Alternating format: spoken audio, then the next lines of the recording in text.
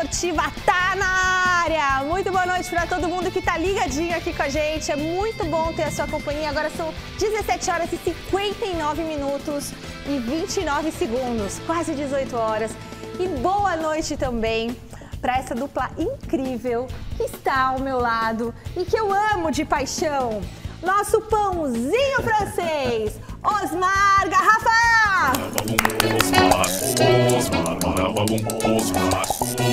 Muito bem! E ele, nosso galã, nosso pãozinho de queijo, Marcelo Bazejo! Muito bem. Ele tá na pista. Ela não existe, né? É, pista. E aí o telespectador falou assim, mas e as meninas? Você e a Marina, vocês são o quê? Acho que a gente é tipo tortinha de morango, sonhinho, né? Vamos pensar, um quindinzinho. É a padaria da Gazeta. É a padaria, mas tem coisa melhor que padaria, gente, né? Eu, eu amo a padaria. Ó, sabe, vocês são um sonho, pronto. Ah, a gente é Aí, ó. sonho, sonhinho. E, ou é uma bomba? É bomba, é um Aí, garrafa, eu aí, acho que aí, ela ó, aí, achou- foi ela quem disse. Eu Vamos seguir o bomba de programa. chocolate. Vamos seguir o programa. Senão Pro- posso me perder aqui. vamos, vamos, vamos seguir normal, né, Abel? Vamos colocar arrozinho e feijão, bem temperadinho. Tá, arroz, feijão, programa de culinária É, aqui. você- você- O programa de hoje tá do jeitinho que você gosta, com muita informação, com muita opinião. Temos o duelo entre Grêmio e Flamengo pela Copa do Brasil. Puxa vida, hein? O Flamengo abriu aí uma bela vantagem. Todas as informações da contratação do colombiano Rames Rodrigues pelo São Paulo. Contratou? Contratou, tá fechado. Contratou Rames Rodrigues. A sequência difícil que o Corinthians tem pela frente. Também tem os bastidores de Luxemburgo na preleção, no jogo aí contra o São Paulo. O Palmeiras trabalhando para se dar bem nos próximos jogos em Belo Horizonte. E os gols da Copa do Mundo de Futebol Feminino. Tudo isso e muito mais depois dessas dicas. Estamos de volta com a enquete do dia. Saca só a nossa enquete. O colombiano Ramos Rodrigues vai dar certo no São Paulo? Sim ou não? Entre lá no site gazetesportiva.com. Pelo QR Code, você entra direto rapidinho. Cadê?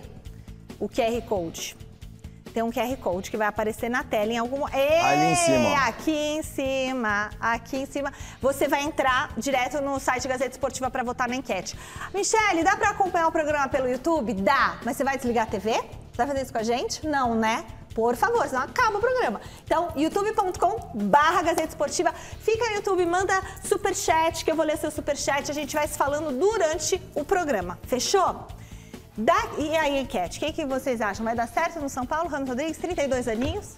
Ah, eu acho que sim. Eu acho que se ele, se ele colocar na cabeça que ele tem que jogar bola, sem dúvida nenhuma. É um jogador que não, não atua profissionalmente há três meses, não conseguiu render o esperado nas últimas passagens pelos clubes, né? Pelo Olympiacos da Grécia, pelo Al Rayyan do Catar. Mas, sem dúvida nenhuma, o, o potencial dele todos nós conhecemos, a gente sabe do que ele é capaz. Precisa saber se ele está disposto a jogar o que ele um dia já jogou. Ele vai ter toda a estrutura necessária para desempenhar um bom futebol. No futebol brasileiro, muitos jogadores que já estão no final da carreira e que foram estrelas na Europa têm tido sucesso. O Soares é um, é um, é um exemplo muito, muito forte disso, né? Ele nem tá mordendo mais. Mesmo, mesmo, com, mesmo sem joelho, mesmo com todas as dificuldades, consegue se destacar. E o. Rames Rodrigues, ele é mais jovem, 32 anos, ainda tem muita lenha para queimar. Então, eu acredito sim que o Rames pode ajudar e muito o São Paulo. Então, é, é a história do copo meio cheio e meio vazio.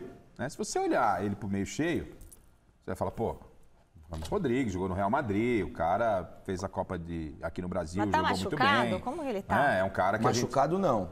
É, é um cara que a gente sabe que, que tem qualidade. Aí se você olha o copo meio vazio, pô, mas ele não deu certo em nenhum lugar que ele passou. Já foi para 32 anos. Né? E aí? Vem de lesão. É, Tá parado há três meses.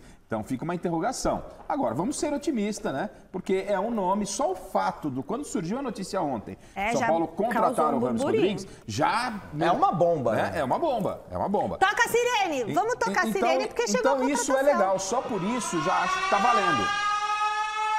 Só por isso acho que tá valendo. E o São Paulo, né, disse que não vai recorrer a nenhum ah, investidor, tal, vai com seus próprios recursos. A gente acredita que a diretoria esteja fazendo uma negociação com os pés no chão. Eu acho que é uma grande aposta e a torcida é que dê muito certo. E detalhe, daqui a pouco o Zé Paz vai falar. Acho que ele pode, inclusive, já ficar à disposição, se ele tiver condição técnica, tudo, de ser inscrito para o jogo da, daqui a três semanas. Ele estava no Olympiacos da Grécia. Ele Nossa. jogar contra o Corinthians. De repente, já pensou ele lá no Morumbi no jogo Opa, da volta? Opa! Mas tem que ver essa tá possibilidade. Jogo, tem três semanas para ele fazer uma pré-temporada, conhecer os companheiros, adquirir um entrosamento e poder jogar. Beleza, já tô com você aqui na minha orelhinha, tá bom, chileno? Muito bom ter você aqui. Daqui a pouquinho, todas as informações sobre a chegada de Rames Rodrigues ao São Paulo. Antes disso, temos Copa do Brasil. Grêmio e Flamengo fizeram ontem o jogo de ida pela semifinal da competição lá em Porto Alegre, tchê, e parece que a vaga na decisão já tá bem encaminhada, né? Grêmio e Flamengo pela ida da semifinal da Copa do Brasil. O Soares quase abriu o placar com um golaço.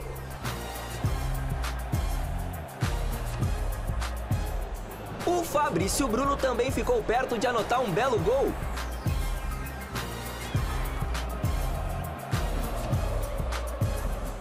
Mas o goleirão do Grêmio, o Gabriel Grando, não pôde impedir o Gabigol de abrir o placar. 1 a 0 Flamengo.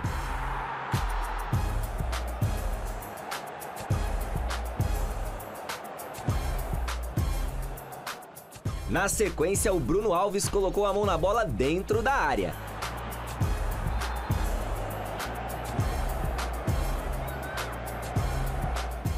O Gabigol foi para a cobrança, mas o Gabriel Grando parou o atacante. E na etapa final, tudo complicou ainda mais para os gaúchos com a expulsão do Kahneman. O Flamengo cresceu no jogo, o Thiago Maia recebeu um bolão do Arrascaeta e contou com um desvio da zaga para marcar e fechar o placar. Flamengo agora em vantagem para a volta no Maracanã, 2, Grêmio 0. Nós temos que ser realistas também, né? O Grêmio vem de uma segunda divisão. Nós mudamos praticamente aí 50%, 60% do, do nosso grupo. Trouxemos jogadores, ganhamos o Campeonato Estadual, ganhamos a Recopa e estamos bem no brasileiro. Nós não vamos ganhar de, de todo mundo.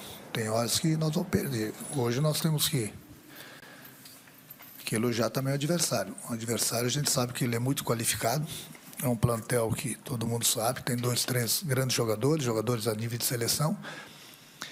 Deu tudo certo para eles hoje. E, infelizmente, algumas coisas deram errado para a gente. Ah, até que, até que não foi tão ruim, vai. 2 a 0 podia ser 4. O discurso do Renato é um discurso já falando para a galera que tem que focar no Campeonato Brasileiro. É. Esquece. Esquece. Copa do Brasil, esquece. Agora é pensar se o Flamengo, do gato fogueteiro, Vai conseguir né? passar né? por São Não, Paulo. Já passou. É, vai jogar contra quem? Flamengo e Corinthians ou Flamengo e São Paulo? Com todo o respeito que merece o Grêmio.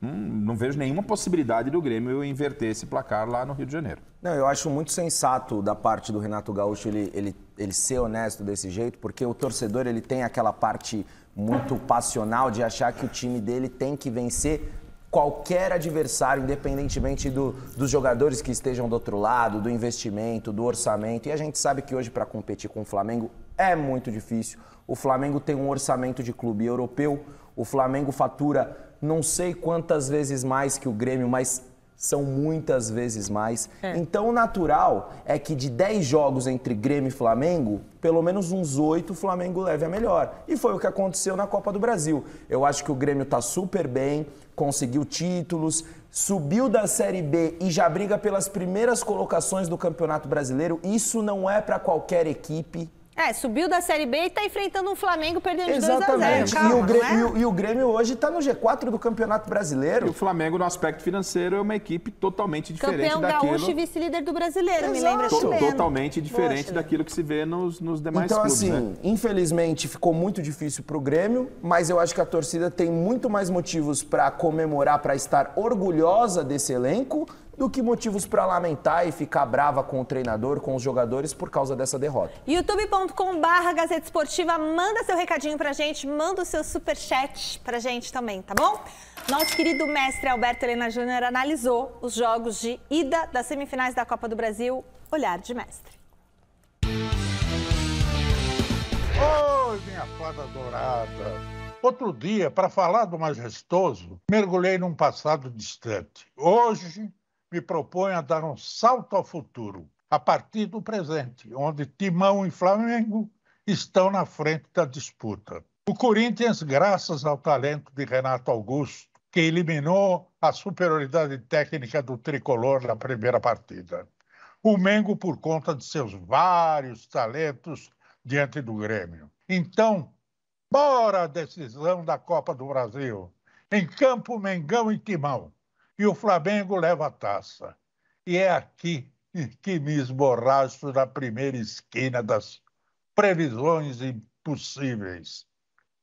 Pois o que decide o futuro do futebol é aquele objeto redondo, sem piedade e rumo certo, a tal da bola. A bichinha é doida para contrariar qualquer craque ou profeta. Beijos, amor. Beijos, amor da minha vida. E olha, o que todo mundo quer saber nessa quinta-feira é o seguinte: quando o colombiano Rames Rodrigues vai chegar ao Brasil para assinar com o São Paulo? E quem passou a tarde inteirinha atrás dessa resposta para dar para vocês é o nosso repórter José Paz. Boa noite, Zé. O que, que você conseguiu apurar até o momento? Boa noite, minha querida Michele Janela. Boa noite para você, para o Garrafa, para o Bacégio, para todo mundo que está acompanhando aí o Gazeta Esportiva. Pois é, só falta formalizar, viu, Michele? Essa informação de momento aqui. Recebi ainda há pouco, antes de entrar aqui no Gazeta Esportiva, só falta formalizar. Rames Rodrigues será, é jogador do São Paulo. E aí foi exatamente isso. Ficamos apurando hoje o dia inteiro ontem à noite. Ontem aqui no Gazeta Esportiva a gente trouxe até uma prévia, né, é, sobre esse assunto. O Bacégio trouxe a informação do Ramos Rodrigues, depois eu recebi uma outra informação, mas as coisas foram é, se desenrolando entre ontem e hoje. Aí muitas informações. Ontem eu trouxe aqui para vocês que tinham detalhes aí contratuais, né, salários, mas enfim o negócio fluiu e o Rames Rodrigues é jogador do São Paulo. Você me perguntou aí quando chega, quando que vai ser apresentado. A tendência é que ele chegue aqui no Brasil até o próximo sábado e que ele seja apresentado, viu, Michele, ao torcedor do São Paulo no próximo domingo, antes do jogo contra o Bahia. Pois é, o São Paulo pega o Bahia às 11 da manhã no próximo domingo, jogo válido pelo Campeonato Brasileiro no Morumbi. E a tendência é que o Rames Rodrigues, então, vá ao gramado, ele fale ali com os torcedores, né? Faça aquela saudação para a galera. Mais de 47 mil ingressos já foram vendidos para esse jogo entre São Paulo e Bahia. Então, expectativa de casa cheia, muitas famílias, mais de 50 mil pessoas, claro, de fato estarão lá no Morumbi. Essa é a expectativa, então promete ser um domingo muito bacana aí para a família São Paulo. E a gente preparou uma tela para mostrar para vocês algumas informações aí do Rames Rodrigues, coisas que a gente pôde apurar, informações interessantes para trazer para o nosso público. Então vamos acompanhar aí. Olha só, o Rames Rodrigues ele é um jogador de 32 anos. Como vocês disseram aí já na, no início do nosso Gazeta Esportiva, ele não atua desde abril, quando ele estava no Olympiacos lá da Grécia, o último clube dele. Por lá ele fez 23 jogos, marcou cinco golzinhos. E aí a informação que eu apurei hoje, junto com o Bacégio, inclusive, aí numa força-tarefa, é o seguinte: São Paulo vai pagar por mês um milhão de reais para ter o Rames Rodrigues. Um milhão de reais de salários. E o tricolor não vai contar com nenhum tipo de investidor, nenhum tipo de parceiro para bancar esses valores, como o São Paulo queria na época do Daniel Alves, né? Não conseguiu os investidores, hoje tem uma dívida milionária com o Daniel Alves, mas o Rames Rodrigues está dentro do orçamento do São Paulo. E mais, viu, Michele? Uma informação importante: ele está no teto ali dos salários do São Paulo, que é hoje de 750, 800 mil reais, e o resto seria de luvas. E o que, que são essas luvas? As luvas, elas são aquele tipo de bonificação, né? Que os clubes pagam para contar com os jogadores. Então, o Rames receberia de salário entre 750 e 800 mil reais. E o resto de luvas, um milhão por mês, num contrato que deve ir até o final de 2025. Essa é a expectativa. Então, dois anos e meio de contrato aí para o Rames Rodrigues com o São Paulo. Importante dizer também que nas últimas cinco temporadas, Rames Rodrigues atuou uma média aí de 21 jogos. É um jogador que tem um histórico de lesões importante. Então é preciso ter muita calma com esse atleta que lá em 2014 teve o grande auge da sua carreira na Copa do Mundo aqui no Brasil, marcou aquele golaço contra o Uruguai no Maracanã, ganhou o prêmio Puskas de gol mais bonito daquele ano. Depois foi para o Real Madrid, foi para o Bayern de Munique, inclusive o Rafinha que hoje está no São Paulo, é uma das lendas do Bayern de Munique, como a gente bem sabe, né? O Rafinha foi figura aí muito importante para essa contratação do Rames Rodrigues. Conversou com o jogador, falou sobre o São Paulo, sobre o projeto do clube, sobre as coisas que envolvem o São Paulo Futebol Clube e foi uma, uma figura importante, então marcante aí nessa negociação envolvendo então Rames Rodrigues e São Paulo. Daqui a pouquinho eu volto para a gente falar mais do tricolor. Treinou hoje, tem esse jogo contra o Bahia pela frente. Vou trazer um pouquinho de informação também em relação ao Lucas Moura, que está aí no mercado. Muitos São Paulinos me perguntando se ele vem, se ele não vem. Daqui a pouquinho eu volto então para a gente falar, porque tem muita coisa para a gente comentar ainda aí em relação ao São Paulo, viu, Michele? Agora devolvo para vocês, para vocês poderem conversar um pouquinho aí sobre o Rames Rodrigues. Beleza, José Paz. Bom, salário de um milhão não joga desde abril, né, que o Zé Paz falou. O que, que vocês acham sobre isso? E 32 anos, gente. Eu acho que o São Paulo está fazendo uma aposta um pouquinho alta, não? Não, acho que pelo, por ser o Ramos Rodrigues, não, me parece. Eu não vou discutir porque não é, é engraçado e é muito fácil a gente falar, trabalhar com o dinheiro dos outros, né? Mas assim, até em termos de mercado, qualquer, é. qualquer jogador aí, qualquer jogador meia boca tá ganhando 700, 800. Pô, pagar um milhão pro, pro Rames e ainda você não tá tendo que pagar, é, talvez, é um... é, lembrando que assim, é um milhão já com as luvas diluídas ah, no contrato, então, né? Ah, tá então o salário ah, dele é, ele é inferior a um milhão. Vira um milhão porque ah, as não, tá. luvas tá, eles tá diluíram tá... no, no contrato. é oferta, hein? E quem sai é pra ele entrar? Ofertão. Ah, hoje quem sai é o Rodrigo Nestor, né? É, é o Rames e mais... Mais 10. Mais 10. É isso. É. Sem dúvida. Não tem, você vai trazer um cara desse, a não ser que ele decepcione. Chega pra jogar. Tem que chegar pra jogar. É contrata... Essa é a contratação que chega pra jogar e pra jogar. A final. Já contra pra o Corinthians. Mim é final. Corinthians e, e eu acho que um detalhe é importante final, que o José Paz até passou na, no link dele é que o, o, salário do Rames ele não ultrapassa o teto estipulado pelo São não, tá Paulo. Tá ótimo, ótimo negócio. Então, Michel. quer dizer, não se vai é um milhão, aquela picuinha Se é um milhão no, no, total, se é um milhão no total, como se fosse luvas e salários que dá um milhão, é, tá, tá ótimo. Porque tá a gente sabe que tem é, muita vaidade, ego, aí chega no vestiário, pô, é, todo não, mundo não, ganha não. abaixo do teto. Aí chega um cara ontem, já pega a camisa tá 10, mais é ou menos o que o Bacérgio tá recebendo aqui. É, é isso mesmo. O Corinthians tem uma sequência bem complicada pela frente até a decisão da semifinal da Copa do Brasil contra o São Paulo no próximo dia 16 de agosto. Veja na reportagem da Marina Buffon.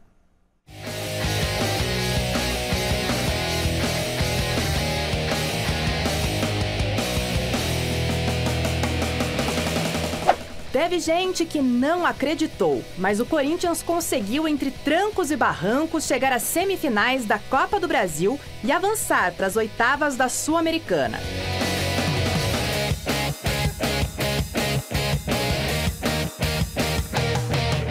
Tá, eu sei, é difícil manter os pés no chão depois da vitória sobre o São Paulo na terça-feira na ida da Copa.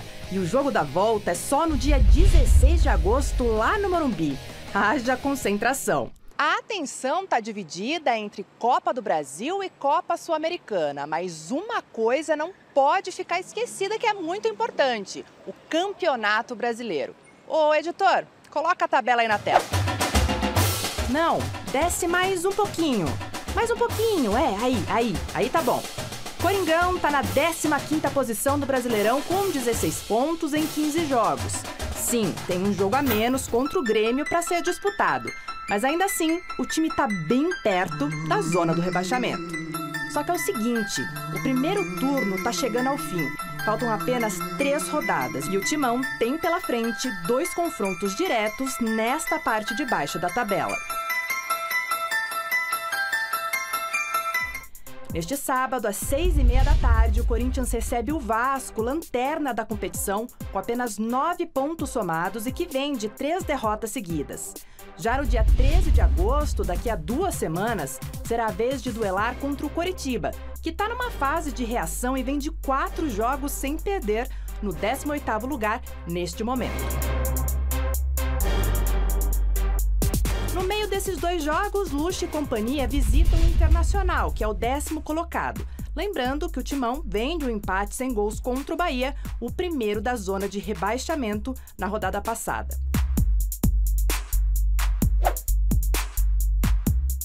É, a situação tá complicada sim no Brasileirão, apesar dos resultados nas outras competições. Agora é hora do quê? Poupar pensando nos mata-matas ou ir com tudo a cada rodada do campeonato nacional? Há um turno e três jogos pela frente, é verdade. Mas cada jogo pode ser o jogo da vida para o Timão respirar na Série A. Muito bem. E aí, agora o Corinthians. Esse é, essa é a situação no Corinthians.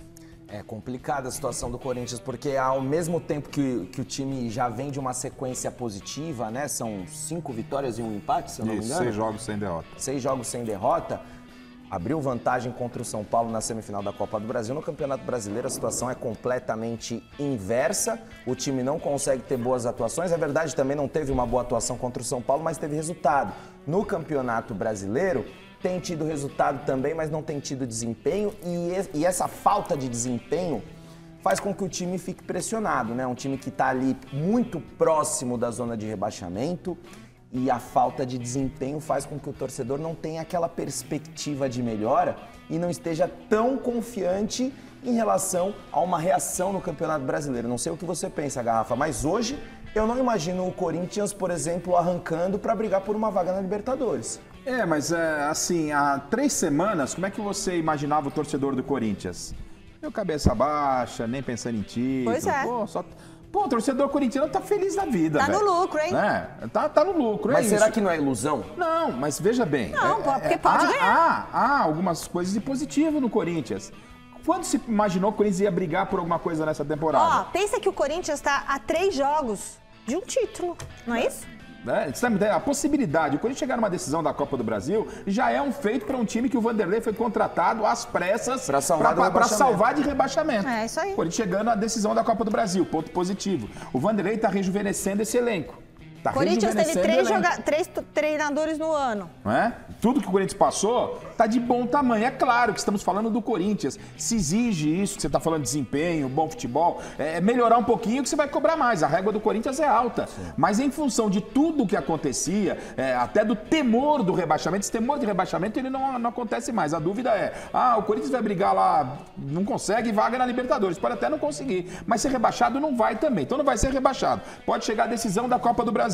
Na Sul-Americana, não se sabe ainda o que pode aprontar. Tá lá, tá vivo na Sul-Americana. Então, existem coisas boas. O Vanderlei revelou aí, Moscardo, Murilo, são jogadores que vão se transformar em ativo. Então, é, é, olhando pro copo cheio, o momento do Corinthians, o torcedor pelo menos está podendo ir tomar uma cervejinha mais tranquilo, sem ser sacaneado pelo São Paulino, pelo Palmeirense. Isso já dá um alívio. É o ideal pro Corinthians? Não, não é o ideal. Mas o trabalho do Vanderlei, que ainda não fez esse time jogar, que ainda coletivamente não tem um conjunto como tem o São Paulo, mas é um, é, é um trabalho que tem mostrado alguns frutos. São poucos pelo que representa o Corinthians, mas pela confusão que estava, como diz o Luxemburgo, tem muita coisa que está sendo As feita aí. semis da C... Copa do Brasil. Mas CBD, não tem que ser CDB?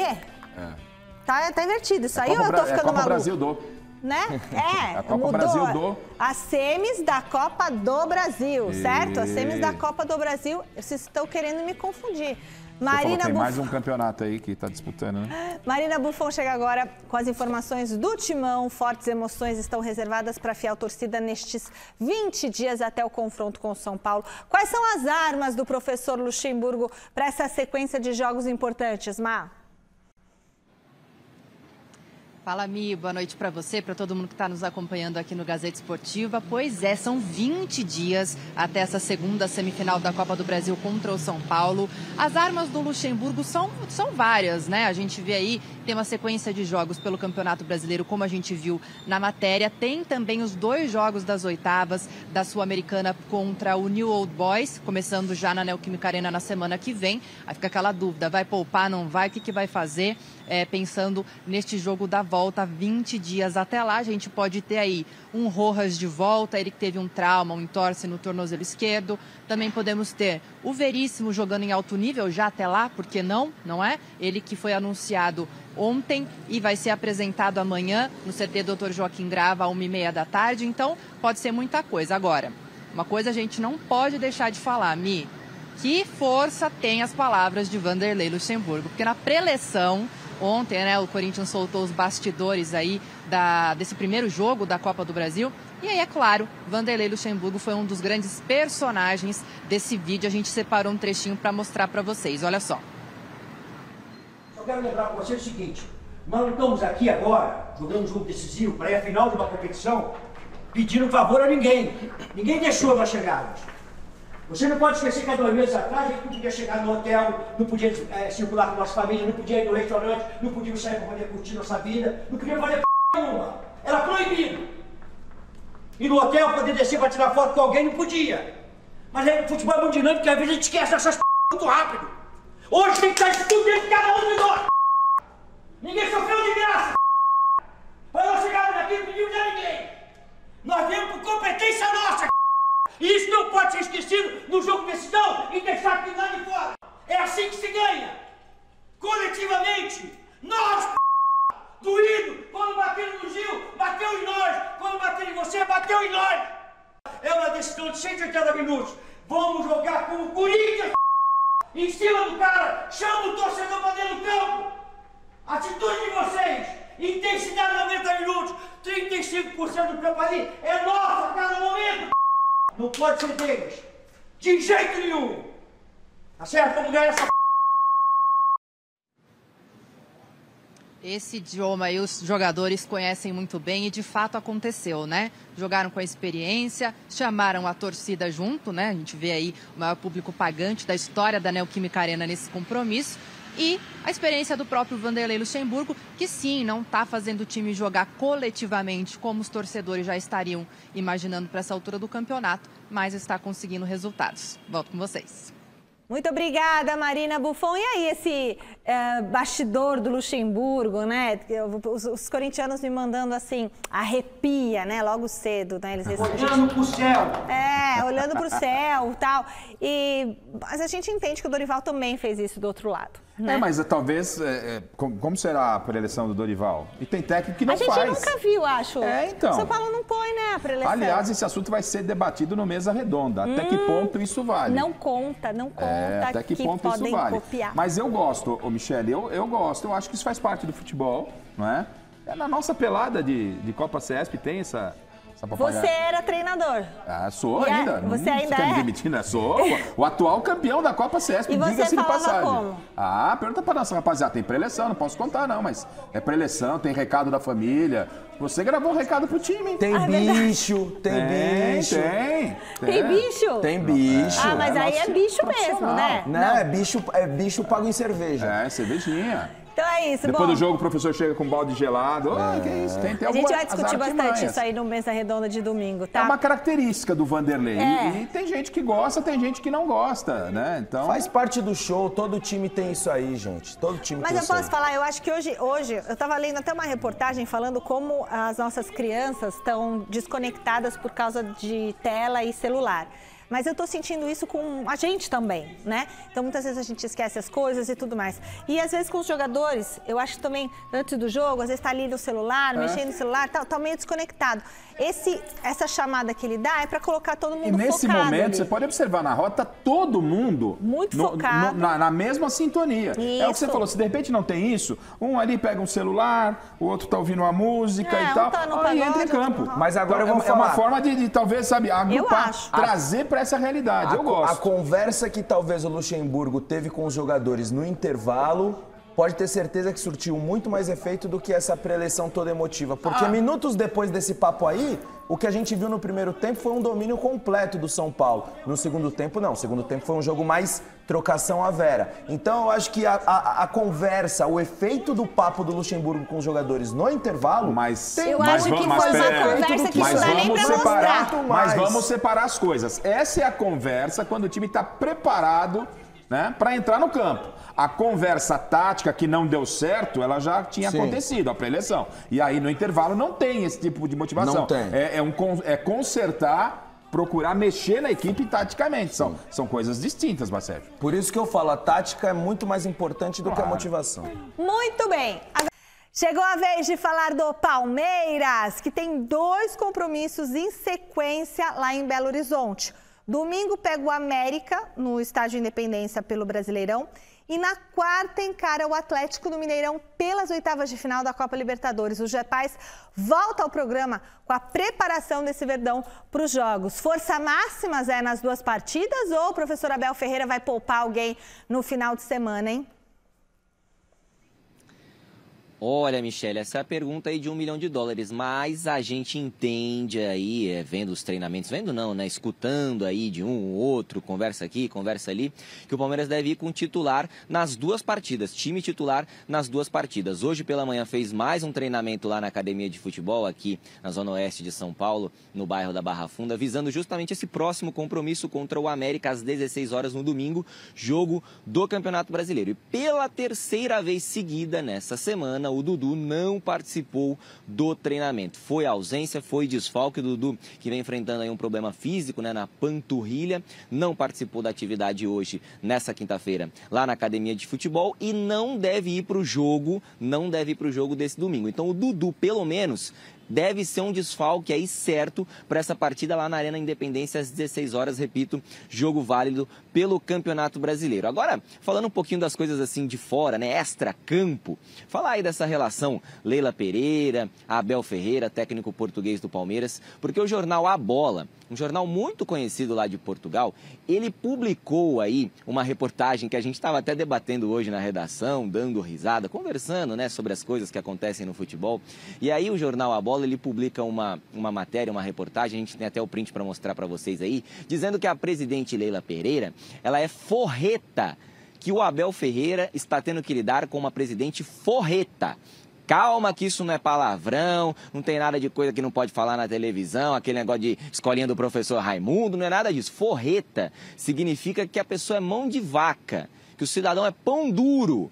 Então, lá no Jornal A Bola, eles estão dizendo que o Abel Ferreira está querendo contratar jogadores, está querendo reforçar esse time do Palmeiras e a presidente Leila Pereira não tira o escorpião do bolso para contratar jogadores, o que não aconteceu nesta janela agora de meio de ano. O Palmeiras não contratou ninguém nessa janela agora do meio do ano. Então, essa brincadeira aí, entre aspas, lá do Jornal A Bola, dando aquela cutucada na presidente Leila Pereira para falar do Abel Ferreira, que é um português, claro, tem uma conexão muito grande lá com o seu país e aí eles trazendo essa reportagem falando um pouquinho aí das relações, da relação Abel Ferreira e da presidente da Sociedade Esportiva Palmeiras, da Leila Pereira. Vou devolver para vocês aí, para vocês comentarem se ela é forreta, se ela não é, até porque nas redes sociais hoje, viu, Michele, só se falava disso, porque o São Paulo está contratando aí o Rames Rodrigues, até o Santos que dizem, todo mundo aí fala, meu Deus do céu, vai cair para a segunda divisão. Santos a gente, a gente sabe tem um, um problema financeiro muito grave, mas conseguiu contratar também nessa janela de transferências. O Corinthians trazendo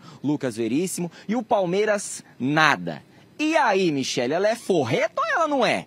Vai aí você, minha amiga. Ai, olha, eu sei que a tia segura a carteira ali que não deixa ninguém abrir, né? É, é uma presidente porreta, na opinião de vocês? Ah, ela é uma empresária bem sucedida, né, Michelle? Ela é uma empresária bem sucedida. Que ela é uma excelente empresária.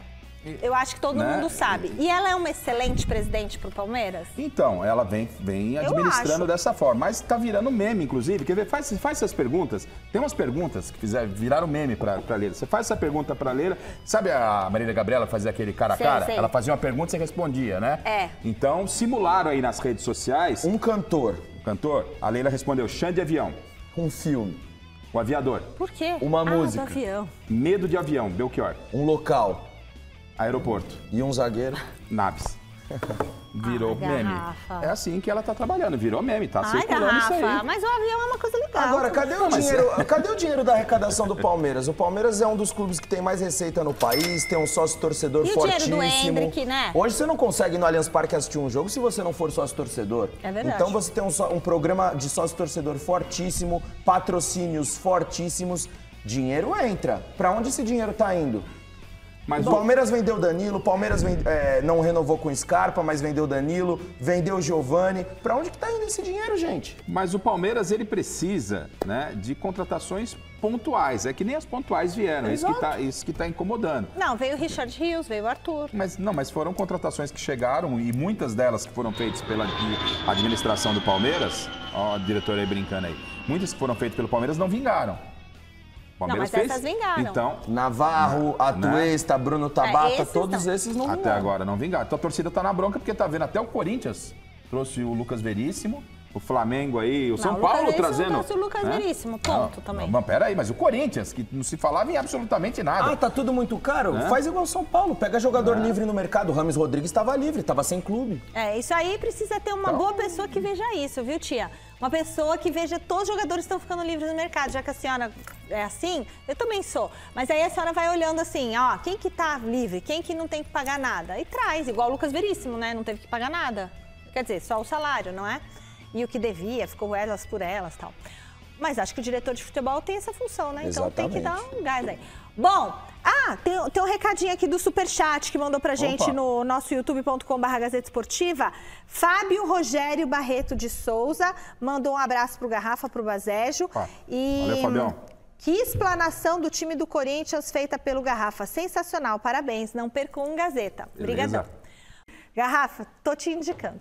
É bom, não que você precise, mas assim, mesmo quem não precisa pode tomar e mandar ver que vai fazer bonito. Olha, o Brasil, o Brasil está, o Brasil está trabalhando para sediar a próxima edição da Copa do Mundo de Futebol Feminino em 2027. A Marina Buffon esteve hoje em um evento do Ministério do Esporte e traz os detalhes.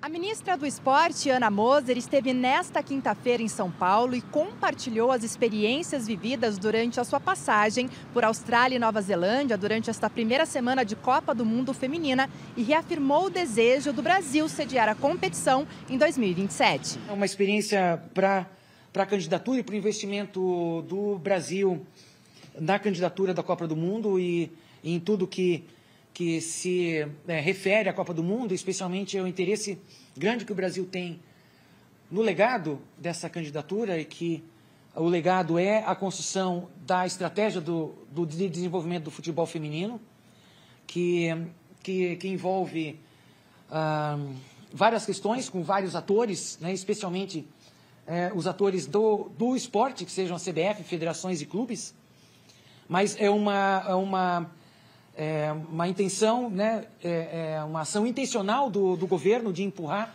essa discussão. O Brasil tem uma estru- uma estrutura muito além do que é necessária para receber, né, já eh, construída para a Copa de 2014 e mantida depois e ampliada até. Estádios, hotéis, aeroportos, né, toda essa estrutura não é, muito pelo contrário, é uma vantagem né, para a candidatura do Brasil. Os homens do, da CBF, assim, né, tendo que entender aquilo tudo, né? E foi muito, muito bom eles estarem lá presentes para entender num país que teve, tem todo esse contexto, para entender a- o potencial de impacto que tem o investimento, né? Eles, eles irem além do que é o futebol masculino. O Brasil deve apresentar a candidatura oficial para sediar o Mundial Feminino de 2027 em dezembro, sendo que a escolha final será realizada em maio do ano que vem. Ah, é claro, Ana Moser não deixou de tietar e falou da amarelinha lá em Brisbane também. Mas elas estão bem, hein? Mas foi assim, muito legal. Muito bom! Olha, enquanto São Paulo espera para acertar os últimos detalhes da contratação do Rames Rodrigues, o elenco tá de olho no duelo contra o Bahia domingo, 11 da manhã, no Morumbi. Volta aqui, volta aqui, José Paz, vem pra cá, vem pra cá, conta pra gente todos os problemas que o professor Dorival Júnior vai ter para escalar o time. Por que problema, Dorival? O que está acontecendo, Zé, no São Paulo? Pois é, Michele, tem muita gente aí que não pode jogar por motivo de suspensão, né? O próprio Dorival Júnior não vai estar à beira do gramado. O Caleri, por exemplo, ele está machucado, né? Machucou a coxa direita aí no último jogo do São Paulo lá no Majestoso contra o Corinthians, lá na Neoquímica Arena pela Copa do Brasil. Não teve nenhum tipo de lesão, é bem verdade, ali na coxa, mas ele segue no refis, segue sendo preparado aí para a sequência da temporada. O Luciano também está fora desse jogo agora do final de semana. O São Paulo deve ter um ataque completamente reserva, deve não, terá um ataque completamente reserva nessa partida. E é um jogo importante, né, do Campeonato Brasileiro. Aí o São Paulo brigando pela parte alta da tabela ali, meio de tabela para cima, G4, enfim, aquela coisa toda. Então é um jogo que vai ser muito importante sim para o tricolor, esse contra o, contra o Bahia no próximo final de semana. Falando um pouquinho ainda do, do Rames Rodrigues, né, que você citou aí antes de me chamar um pouquinho, essa contratação, ela está sendo muito falada, essa contratação muito falada, né, entre os, os São Paulinos aí, é, todo mundo conversando muito sobre Rames Rodrigues. E aí surgiu o assunto também do Lucas Lucas Moura. Lucas Moura recentemente deu uma entrevista aí dizendo que tem o desejo de voltar para o São Paulo, ele está livre no mercado depois de deixar lá o Tottenham da Inglaterra. E aí muita gente me perguntando, poxa, ele vem? O Lucas Moura também vem junto com o Rames Rodrigues aí para a gente mudar de vez o patamar desse time? No momento, não. Essa é a informação que eu tenho. No momento, o Lucas Moura não vem para o São Paulo. Ele tem a intenção, sim, de um dia voltar para o São Paulo, que é o clube que o revelou. Mas, no momento, o Lucas Moura, a família do Lucas Moura, o staff, entendem que ele ainda tem lenha para queimar lá na Europa. É um jogador de 30 anos de idade que ainda quer permanecer na Europa por mais um tempo para depois sim voltar para o Brasil e aí, quem sabe, encerrar a sua carreira no São Paulo. O Rames Rodrigues, ele tem que ser inscrito até o próximo dia 8 lá, tem que cumprir todos os requisitos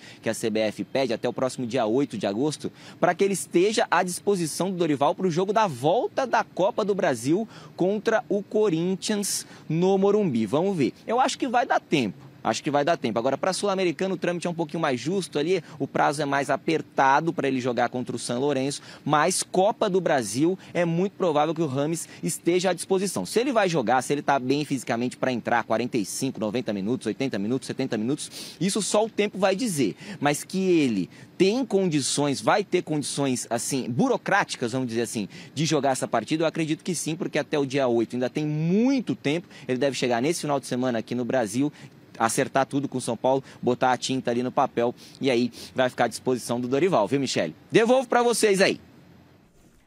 Tem que chegar para jogar. Quando uma empresa faz uma grande contratação de um grande executivo, o cara já chega jogando e mostrando serviço, hein? Ainda mais um. Não, sem dúvida, sem dúvida. É o, é o Rames Rodrigues e mais 10. Quem vai sair a gente não sabe. Muito provavelmente vai ser o Rodrigo isso. Nestor, né? Porque o Nestor é aquele meio-campista que joga mais avançado à frente dos dois volantes. Mas pode ser que o Dorival Júnior acabe armando um outro esquema. Eu não sei o que ele pensa, se ele pensa usar o Rames Rodrigues mais próximo do gol, como um segundo atacante. Enfim, há diferentes possibilidades, agora nos resta aguardar. Então, é assim. São Paulo ainda tem Copa do Brasil, tem Copa Sul-Americana, tem Campeonato Brasileiro. A gente tem uma mania aqui, é um costume, né? Tá mudando um pouquinho. Ah, qual é o time titular? Você pode ver, dificilmente o treinador tem repetido uma formação. É, não, não, não dá por, por esse excesso, esse número excessivo de jogos, isso de certa forma atrapalha muito. Então, o importante é você ter jogador de qualidade para montar o elenco. A cada partida, uma pode jogar o Rames, na outra, se você tivesse o Lucas, então, na outra joga o Lucas. E por aí, por aí vai seguindo, né? É que a gente tem, vem de uma cultura daquela história do 1 a 11. Tá mudando um pouquinho. Ah, mas quem que sai? Ele já quer, né? Não, é tá no grupo, o importante é porque tem lesões, tem, tem, tem calendário puxado, o importante é você ter um grupo que te qualifica e que te possibilita, na ausência né, de, de jogadores, você promover uma alteração. Por exemplo, o Luciano, com aquela bobagem daquele cartão que ele tomou, ele tá fora de um jogo importante contra o Corinthians. É ah, mas pô, tudo bem, entra o Rames. Entendeu? Nossa, é já pensou? Sai esse, um desse, entra um tipo, tamanho não voltar de um mais, Rames, né? né? Marina Buffon está de volta com mais informações do Corinthians. Ontem a gente falou do anúncio oficial do Lucas Veríssimo. O que a gente quer saber agora é quando que ele vai fazer a estreia com a camisa do Timão, né, Mar? Então, me volto para falar justamente sobre isso, como eu trouxe na, na entrada anterior, ele vai ser apresentado amanhã. Muito provavelmente vai ser muito questionado sobre a condição física do jogador. A gente sabe, né, que ele está sem jogar há algum tempo. Há cinco meses ele fez uma participação num jogo ali do Benfica nos minutos finais. Somente em outubro do ano passado é que ele jogou um jogo inteiro. Então realmente faz bastante tempo que ele não tem esse ritmo de jogo. No entanto, o Corinthians entende que isso não é um problema neste momento. Ele fez toda a pré-temporada pelo Benfica, está totalmente recuperado da lesão grave que ele teve no joelho lá em outubro de 2021.